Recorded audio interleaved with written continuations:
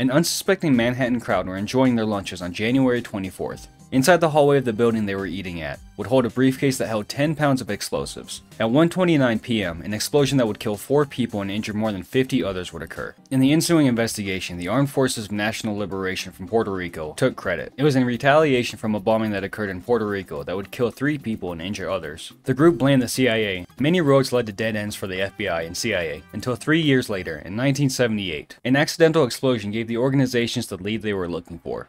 A man named William Morales was disfigured after a device he was working on in his home went off. Obviously accidentally. Unless he wanted to do that. William Morales would turn out to be a part of the FALN, and Morales was the group's explosive expert. Inside Morales' home, the FBI and the CIA found a surplus of explosives, as well as explosive materials. This landed William Morales 89 years in jail. However, this would be the only arrest in some relationship to the tavern bombing.